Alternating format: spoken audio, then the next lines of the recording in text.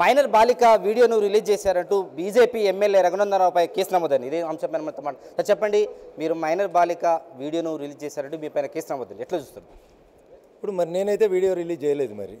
నేను press meet పెట్టిన దాంట్లో ఎక్కడ వీడియోలో అమ్మాయి ఫోటో లేదు అమ్మాయి పేరు లేదు అమ్మాయి తల్లిదండ్రుల ప్రస్తావన లేదు అమ్మాయిది ఏ ఊరు ఏ దేశం ఏం మాట్లాడలేదు. కాంగ్రెస్ ఎందుకు ఇంత ఉలికి పడుతుందో నాకు అర్థం కావట్లేదు. సో ఈ you reached your destiny FIR చేయించాలి రఘునందన్ మీద. రఘునందన్ రావు ఏదో దుర్మార్గుడని నువ్వు ప్రపంచానికి చెప్పాలనుకున్నావు. నేను చెప్పదలుచుకున్నా కాంగ్రెస్ ఎంఐఎం టీఆర్ఎస్ కలిసి కేసుని డైవర్ట్ చేయడానికి ఎంఐఎం పార్టీ ఎమ్మెల్యే కొడుకుల్ని అరెస్ట్ కాకుండా కాపాడడానికి సబ్జెక్ట్ అంతా రఘునందన్ రావు మీదకి డైవర్ట్ చేసేందుకు మీరు చేసినటువంటి కుట్రగా నేను దీన్ని చూస్తా ఉన్నాను తప్ప ఇందులో ఇంతకు ఇంతకు మించి ఇంకేం కనబడతలేదు. ఈ కేసుని ఎట్లా ఎదుర్కొంటారు? ఏముంటుందన్నా నేనే వకీల్ని. నన్ను నేను కాపాడుకోకపోతే క్లయింట్ని ఎట్లా కాపాడుతా అన్న ఇరవై ఐదేళ్ళ నుంచి ప్రాక్టీస్ చేస్తున్నా. I know how to defend myself as an advocate I can defend my case ఒక రూపాయి టికెట్ తీసుకొని కోర్టుకోద్దని కొట్లాడుకుంటాను. నువ్వు కొట్లాడాలంటే నీకు వకీల్ కావాలి. నాకెందుకన్నా? నేనే వకీల్ కాబట్టి నేనే కొట్లాడతాను. ఇప్పటికే ప్రచారం జరుగుతుంది. మరో మీడియాలో కూడా వరుస కథనాలు వస్తున్నాయి. మీకు నోటీసులు ఇచ్చారు పోలీసులు. దీనిపైన సిఆర్పిసిలో ఐపీసీలో ఏ సెక్షన్లు ఉంటాయో ఏందో మరి నాకు తెలియదు. పెద్ద పెద్ద వకీళ్ళు పెద్ద పెద్ద టీవీలకు ఏందో నాకు తెలియదు. నాకైతే ఎవరు నోటీస్ ఇవ్వలే ఏ పోలీస్ అధికారి నన్ను సంప్రదించలేదు మరోవైపు అధికార పార్టీ పైన విమర్శలు చేస్తుంది రఘునందన్ రావు వ్యక్తిగత ఇమేజ్ కోసం ఇదంతా చేస్తున్నారు. ఒకవేళ ఆధారాలు ఉంటే కనుక బాధ్యత గల ఒక లాయర్గా పోలీసులకు ఇవ్వచ్చు. కానీ బహిర్గతంగా చేయడం వల్ల కుటుంబాన్ని కూడా ఇబ్బంది పెట్టారు అని. ఇట్లాంటి చిల్లర మాటలు మాట్లాడే వాళ్ళకు సబ్జెక్ట్ తెలియదు. ఏం మాట్లాడాలో ఏం మాట్లాడదో తెలియదు అడ్వకేసీ స్పెల్లింగ్ తెలియదు ఏం చట్టం గురించి మాట్లాడుతారో అంతకంటే తెలియదు వాళ్ళ గురించి మాట్లాడితే నా టైం వేస్ట్. వాళ్ళ విఘ్నతకు వదిలేస్తా ఉన్నాను నేను. అధికార పార్టీ ఎమ్మెల్యే వివేక్ మీ పైన తీవ్రస్థాయిలో విమర్శలు చేశారు.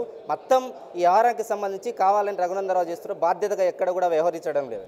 మీ కేటీఆర్ ఏం చేస్తున్నాడు? నువ్వేం చేస్తున్నావు? మీ డీజీపీ ఏం చేస్తున్నాడు? పోలీసులు చేయాల్సిన పనిలో నీకేం అవసరం? అధికార పార్టీ ఎమ్మెల్యే కదా నువ్వెందుకు స్పందిస్తున్నావు?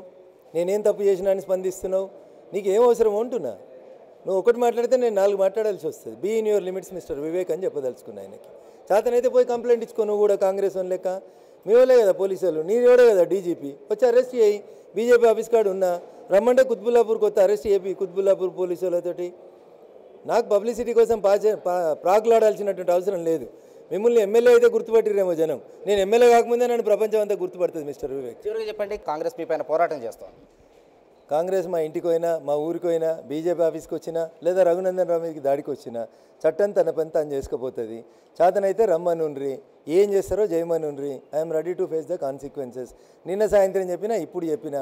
కొద్దిసేపు అయినాక గంట అయినాక గాంధీ భవన్ ముంగడికి వెళ్ళి ఒక్కరినే పోతా కార్లా. చేతనైతే వాళ్ళ ఆఫీస్ కూడా ఆపమనుండ్రి. ఏందన్నా ఇది చిల్లర మారే రాజకీయాలు చిల్లర మాటలు తప్పితే? ఎందుకు వ్యక్తిగతంగా దాడులకు ఎందుకు కుటుంబాల మీదకి దాడులు ఎందుకు ఎందుకు వస్తున్నారు ఏం చేసిరని దాడి చేస్తారు? నాకేం దాడి చేయడం చేత కదా ఏంది? నాకేం చేతులు లేవా ఏంది? నాకేం చట్టం తెలియదా ఏంది? ఈట్కా జవాబ్ పత్తర్ అని ఉద్యమం చేసి వచ్చినాను నేను.